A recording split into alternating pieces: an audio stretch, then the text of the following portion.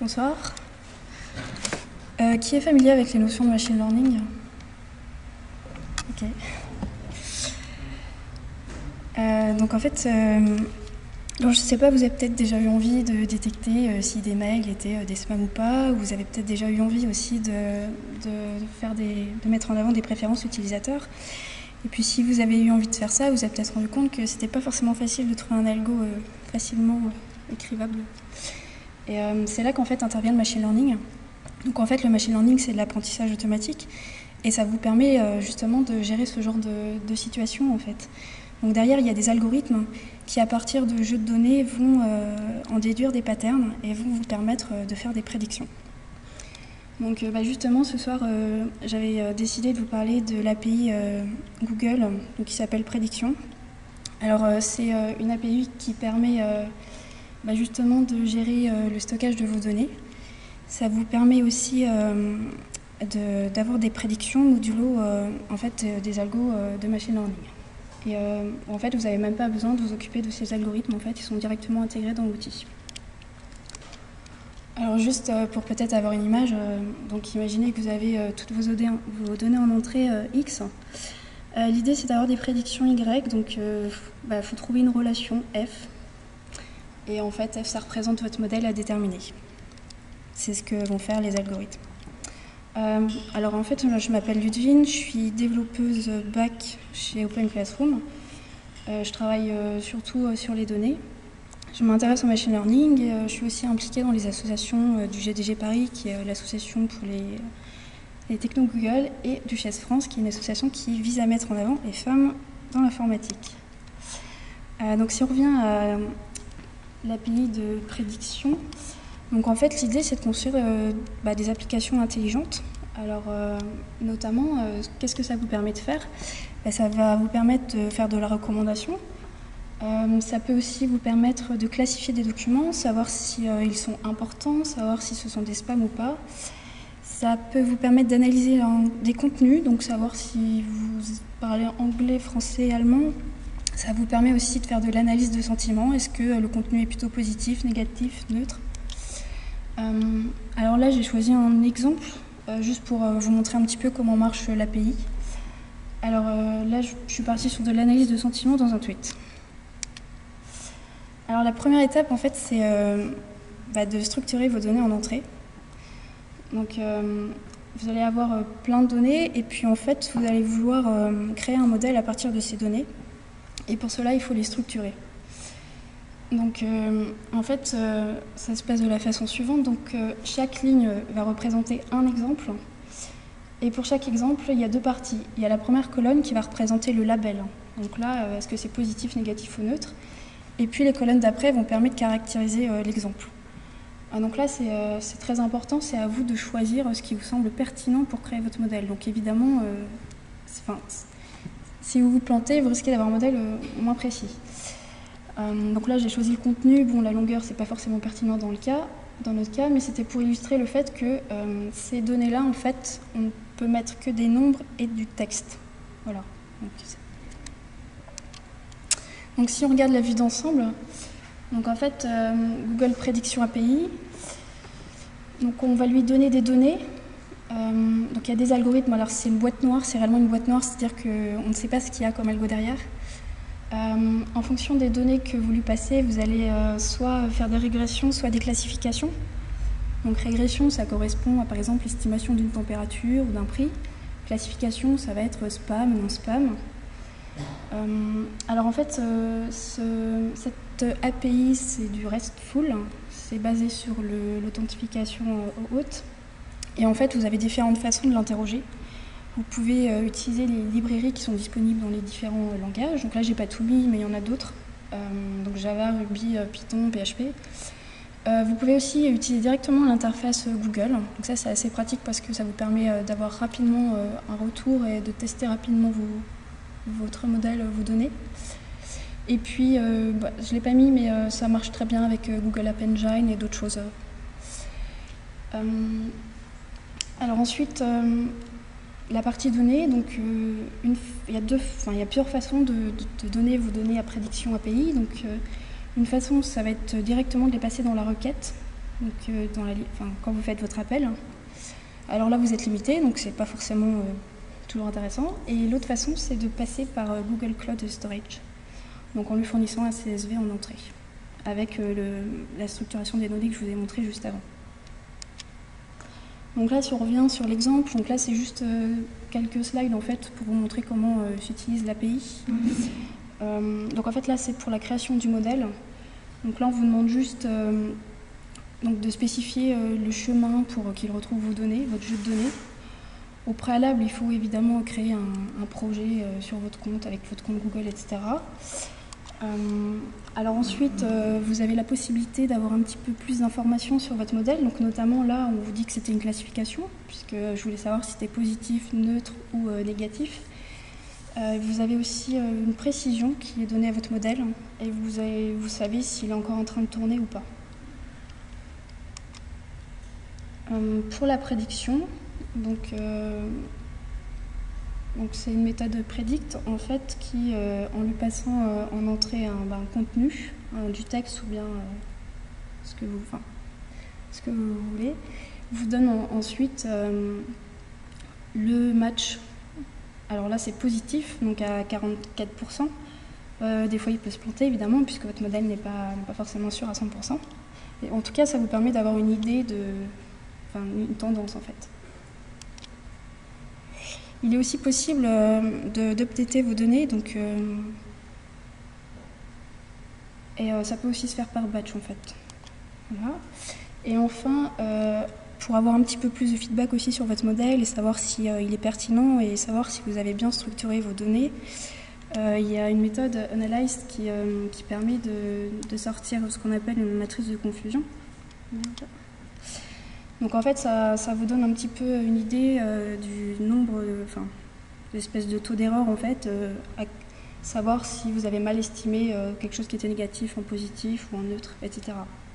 Donc là, c'est pas forcément très intéressant parce qu'il y a beaucoup de zéros. Et juste pour terminer, c'est très dense, mais c'était juste un exemple avec l'API Java.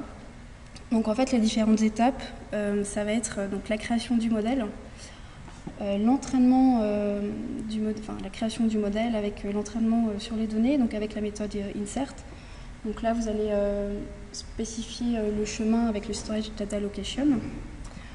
Ensuite, une fois que le modèle est, créé, donc pour lui passer un, contenu à, analyser, donc il va falloir créer un input-input.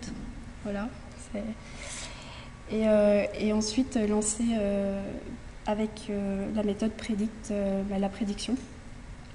Et ensuite, pour le, il vous suffit de le récupérer euh, via le get output label. Pour terminer, donc ce que j'ai bien aimé, c'est la documentation. Il y a pas mal d'exemples assez concrets, donc on, ça nous parle. on se met facilement, comment dire, on arrive facilement à voir dans quel cas ça pourrait être intéressant de l'utiliser. Ensuite, l'interface Google Prédiction est, est très pratique parce qu'en fait, on, arrive rapidement à tester nos jeux de données et avoir des résultats. Côté euh, négatif, bah, disons que ça ne permet pas forcément de traiter tous les cas euh, qu'on peut retrouver dans le machine learning, donc là, puisque ça, ça, ne concerne que les régressions et les classifications. Ensuite, euh, quand vous créez votre compte, votre projet, en fait, vous avez besoin de rajouter l'API prédiction et vous êtes aussi obligé de rajouter le Google Cloud Storage et pour cela, il faut sortir votre carte bleue. Alors même si euh, c'est gratuit au-delà, euh, en dessous de certains euh, nombres d'appels, etc., de prédiction, il faut quand même la sortir. Et dans mon cas, pour la Javadoc, c'était assez difficile d'avoir parfois les infos. Les liens sont bizarrement... voilà. Est-ce que vous avez des questions?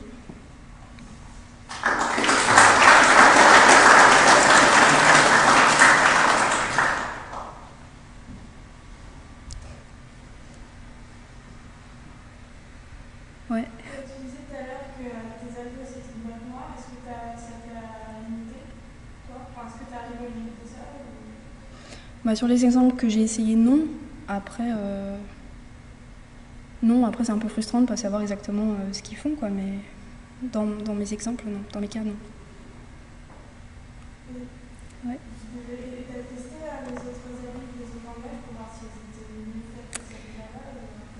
Non, pour lui, euh, non, j'ai pas, comme je suis, non, j'ai pas plus poussé que ça, non.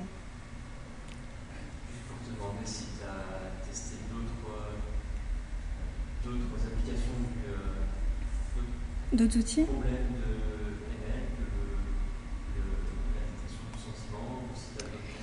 J'avais- En fait, j'avais utilisé euh, Prédiction IO, qui est euh, une librairie. Enfin, c'est un outil qui permet aussi de faire de la recommandation, plutôt, donc des préférences utilisateurs. Et euh, c'est un outil en fait qui repose sur les algorithmes de Mahout. Donc, effectivement, c'est. Enfin, c'était pas les mêmes cas d'usage, donc j'ai pas de récomparaison par rapport à.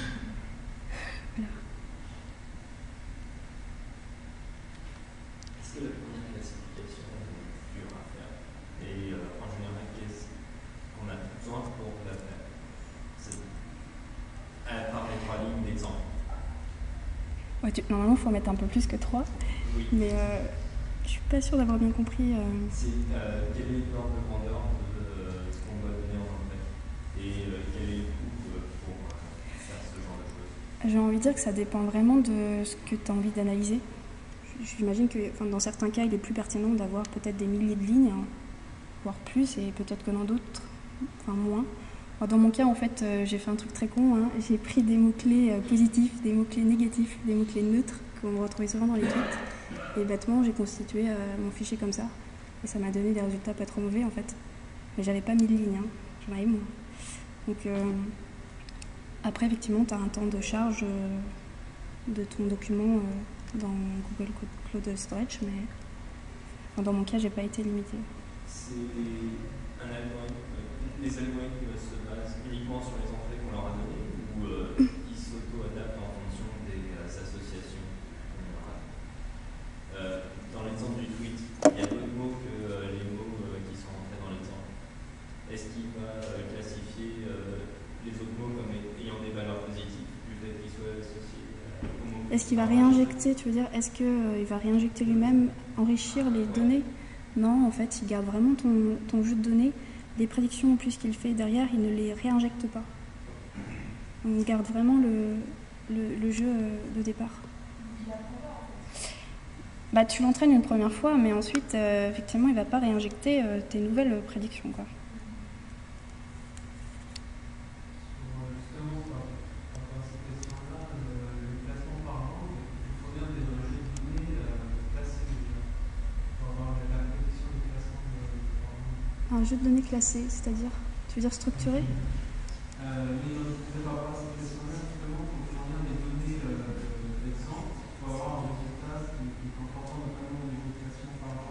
euh. Oui. Euh, ne Ça, en fait, c'est à toi de rajouter les labels. hein. Tu sais, il y, a la- il y a la phase où tu dois labelliser, enfin, tu dois mettre des labels en face de chaque euh, exemple. C'est à toi de faire ce. Je sais pas si c'est ça la question.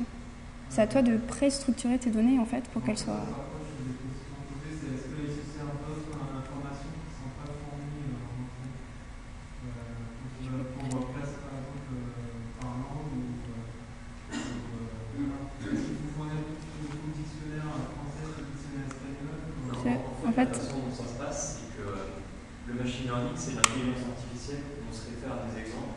Donc là, on doit lui donner des exemples. Il faut Ce les qu'il va fournir faire, en fait, c'est qu'à chaque fois, quand il a une nouvelle phrase, il va comparer à tous les exemples qui existent. Donc, pour faire des comparaisons de texte, en fait, il va regarder si la fréquence des mots dans le nouveau truc, euh, elle est euh, à peu près la même que euh, bah, il tous les exemples. Donc, comme ça, il voit des similarités. Et c'est à partir de ces similarités qu'il va dire bah, ok, ce nouveau truc il est similaire à tel exemple dans, la base d'apprentissage, parce qu'il y a à peu près les mêmes mots avec la même fréquence. Coup, euh, ça va être euh, bah, tel, tel approuve, parce qu'on a déjà un exemple. Il faut avoir, euh, faire ce travail d'avoir tout plein de, de, de messages dans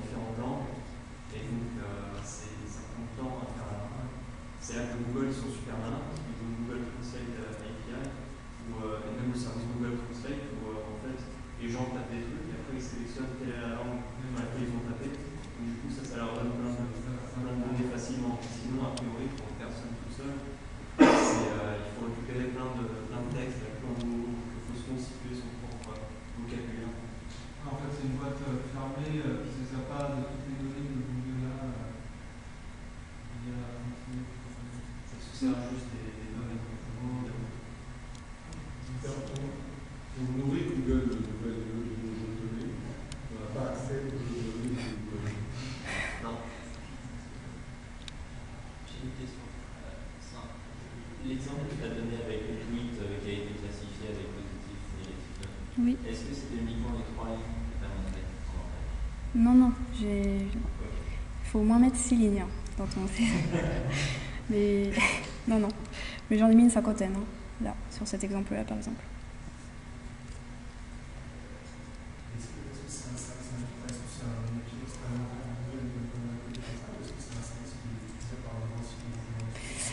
J'ai pas, euh, bah justement, j'ai pas forcément trouvé d'usage dans des grandes boîtes. Alors je sais pas si les gens ne le lisent pas ou si c'est pas très utilisé. Euh, Les gens sont très frileux euh, de, de dire, pas pour l'instant, utilisent ce genre de, de technique vis-à-vis de. C'est assez bizarre, mais c'est un argument qui pas du tout technique, c'est un argument business. Mm. Auprès d'investisseurs, dire euh, qu'on repose sur le truc de Google, ils ont un peu l'impression que du coup, il y a moins de. Ça, ça valorise moins, il y a moins de propriété intellectuelle. Du coup, les gens ne le disent pas forcément, mais il y a, ouais, il y a deux, trois. euh, il y a Ford qui a fait un truc en se basant dessus. Il y a un truc qui s'appelle Pondera Solutions qui fait de la détection de fraude. Et euh, les, les exemples que je vois sur le code humain, généralement les gens sont très frileux à dire qu'ils sont qui reposent là-dessus. Est-ce que déjà, vous- est-ce que c'est poussé par Google comme un service euh, facile à utiliser? Parce que déjà, vous faites appel sur la recommandation. Euh, donc c'est l'offre principale. Est-ce que Google a envie de concurrencer ces startups C'est juste différent. euh, je, ça, je sais pas. Ils font pas de la recommandation. Non, ouais, c'est. c'est- C'est pas. Tu peux faire de la recommandation avec, mais c'est pas. Enfin, je trouve pas que ce soit le, le chemin le plus facile pour en faire, en tout cas. Est-ce que c'est transparent Est-ce que c'est vraiment euh, en termes de roadmap, est-ce que c'est transparent ou est-ce que c'est un service qui est coupé au niveau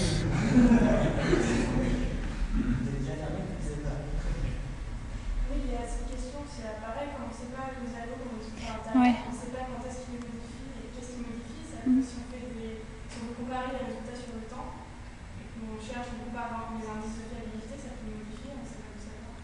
Les éléments. C'est forcément modifié, parce que quand on alimente des données, ça va, ça va s'auto-ajuster. Moi, je parlais, je parlais des algos. En dehors de la code, c'est en dehors de la code, il faut changer aussi évidemment. Ah oui, mais du coup, Oui. je peux pas quantifier qu'est-ce qu'il peut y avoir. C'est ça. C'est vrai. Vu que tu le fais là, en fait, tu vas faire un résultat, euh, pas pour faire l'analyse, tu faut bouger ça, et plus tu regardes ces lignes-là, parce que les lignes, Moi, ça fait plus de temps. Non, c'est en dehors de tu la as code. complètement tout, mais tu as quand même euh, de la concentration. Oui. En dehors de la cause, c'est peut-être aussi les performances de réponse de, de Google qui sont intéressantes, avec des gros volumes, euh, on parle aujourd'hui de big data, est-ce que, enfin, est-ce que vous avez testé avec des gros volumes de, de données Moi, je me suis pas amusée à tester avec des gros volumes de données. Euh.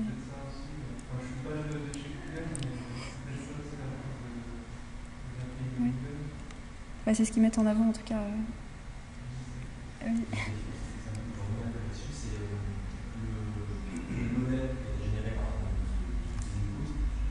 euh, euh, Euh, oui, il est conservé jusqu'à ce que tu réentraînes tes données. Dans ce cas-là, il sera, il me semble, écrasé. Et euh, exportable, je sais pas, je me, je sais pas. J'ai pas. Plus.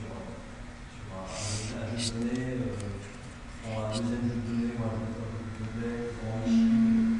Ah, ça, ça, je sais plus. Honnêtement, je sais, je suis pas sûre, mais. euh, Je pense pas que c'est exporté, parce que les mots, tu peux écouter, euh, Oui, oui, oui, oui. C'est là, il faut qu'il y ait un modèle d'utilisation standard de, à peu près des des bases de données de la sortie. peut-être, euh, Oui. Je sais pas si vous avez passé le temps. Euh, Est-ce que les algorithmes de machine learning qui sont utilisés sont des algorithmes connus ou euh, c'est des choses. Euh,